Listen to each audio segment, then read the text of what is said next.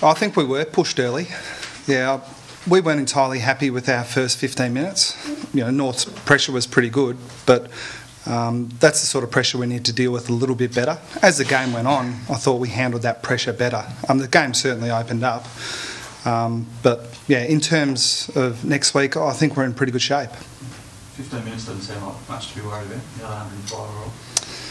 Oh, well, we worked our way through it. Yeah, I mean, you- you're always worried about certain things. As I've said a few times um, this season already, we're, we're not, yes, we're very focused on the short term, and this game is really important, but we're working long term on the sort of footy we want to play um, when it really counts.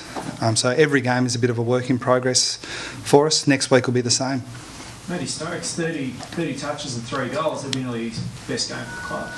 Yeah, I can't really comment on that, but it's, it's the best game I've seen him play. Um, we've got a lot of guys that can play through the midfield, and Stokes is one of those. He, he could be a genuine on baller. Um, the fact that he pushed up, um, got a little bit of bit more of the ball was a real positive today, um, but we know he can hit the scoreboard as well. In fact, we thought our forward structure was a bit average at times. Um, and Stokes is the one that generally goes back there and fixes that up, and you know that that was what we were more impressed with rather than his his numbers. Chris, you mentioned uh, next week already. When when did you start locking on to, next week? Given it is a short week, do you do you start from now or do you pretty well? Yeah, as soon as the siren went, we, we look forward, and but that's no different to any other week. Um, we, we enjoy the win for you know an hour or two, and then we start moving forward. And you know the review of this game will be about how we want to play long term. So, So when you, so when do you lock the players' minds onto the, the, the task? Well, I'm in the fortunate position where I don't really need to do that. Um, they're really good at locking each other into the task. Um, they certainly won't let individuals get ahead of themselves, um, and they won't let the coaching staff get ahead of themselves either. So, um, in that respect, our job is pretty easy. But we know we've got an enormous challenge in front of us. It's the biggest challenge in footy. Uh, I think the whole football world accepts that everyone's behind Collingwood at the moment, um, but we're doing our best to, to get up to their level. You say the focus is sort of all about that long-term improvement and so on, but does this match, you know, coming up next week still have a bit of an extra edge to it in the position of the team and so on? Oh, it's another chance um, to test ourselves against really good opposition. Um, the winner of next week's game won't have a massive impact on the season, I wouldn't have thought. If whichever side loses, I don't think they'll think that their season's shot. Um, but it's a chance for us to test what we're doing against what is clearly the best side in the competition. Is Brad Ottens okay? Yeah, he is. He's had a really high workload. Um, we've chosen to play one genuine ruckman every game this season. He's played every game. He's been a little bit sore, so we've been fortunate that we've had two really good breaks. We had a 12-day break and, a, and a, I think a 10-day break. Um, so whenever Brad sort of started to show signs of soreness, we were always going to be safe with him. He started to get a little bit sore towards the end of the first half. We thought about subbing him a little bit later into the third quarter, but didn't see the value in that. So, like with a few of our players, we're always going to be safe rather than sorry. So do you think it'll have any, any doubt for next week? Oh, I wouldn't, I wouldn't have thought so, but it's a really hard question to answer now. Um, we'd like to think that um, we were proactive with him, so he'll be okay for next week. Did you have any misgivings about um, having to throw Mooney on the ball or giving him the extra work, or did he benefit from that? No, I think he benefited from that. Um, he he played a little bit sort of in defence, a little bit behind the ball. Um, we were really pleased with him. He showed he can compete really well in the ruck, and he's done that a few times this year. Um, the misgivings were around making a sub so early. Um, we accepted that was a risk, um, and fortunately we got away with it. What's the situation with Steve Johnson? Oh, he's he's had a little bit of shoulder soreness. Um, he was really close to playing this week, but it was one of those things that's been around for a few weeks, and it's got to the point where there hasn't been any improvement, even with the long breaks. So we were concerned that he was taking so long to recover um, with really long breaks that his recovery for a Collingwood game with a six-day break was going to be severely impacted. So again, he's one of a group of players that, where there's doubt, will be safe.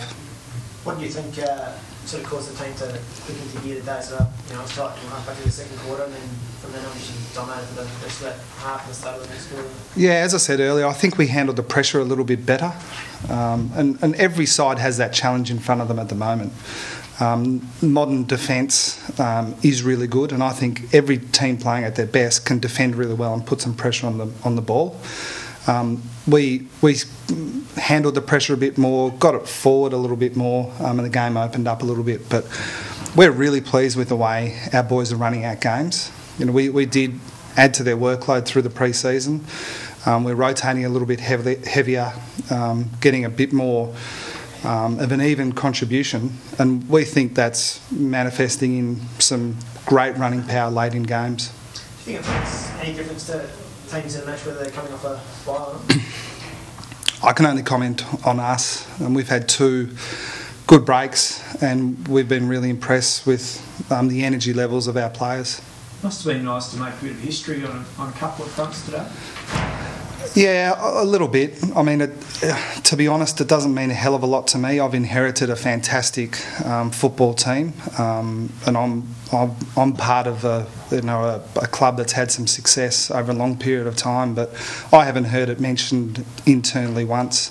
I don't think it's the sort of thing that that drives these players. Um, but they are a very motivated group and continue to be so. So we understand that um, when we lose a game, which is inevitable, we'll lose a game at some stage, that that motivation will be questioned. But we're just going to make sure that we bounce back and, and keep pushing.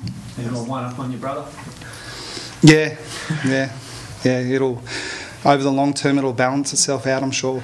Just on the ground, Chris, how, how big an asset is it in a game plan? Since you've come here from the outside as a player and played in coaching groups, and you know how difficult it is to come here now from the inside. How, how much does it mean playing games?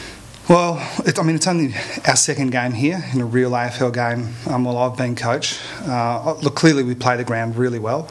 Um, I know playing on the ground myself and, and, and coaching um, an interstate side, playing at this ground, it is it is very different. Um, how much impact it has is really hard to quantify, but our boys feel really comfortable here. I suspect the opposition feel a little uncomfortable here. So, in a competition that's really even and, and a fine line, you know, there is a fine line in a good performance and a bad performance. Maybe that has a more significant impact than it ever has. Last, last word on the Twins thing. Where, Yep. where will you next week? I mean, do you, would you give him a call or do you think he'd give you a call? I mean, what, what, Yeah, I don't know. We haven't planned anything, but I'll speak to him in the next few days. I think. Yeah, we don't. We, we certainly don't schedule time in to talk during the week, but uh, it does happen. Yeah, yeah. Um, he'd be disappointed at the moment, um, you know, and, and I, I feel for him a little bit there, but. Um, you know, he'll he'll move forward just the way we're moving forward for next week. So, um, I wouldn't think we'd spend much time talking about the game at all. Cameron Ling for next week? Is that a wait and see or? Uh, it's a wait and see, yeah, but I'll be really hopeful with Lingy. He just, again, he's in a little bit of the same boat as some of the others. With a long break, um, he, he just wasn't training well enough for us to be super confident um, of him playing this week. But we train um, again significantly on Tuesday, and assuming he gets through that, then, then he'll be right to go.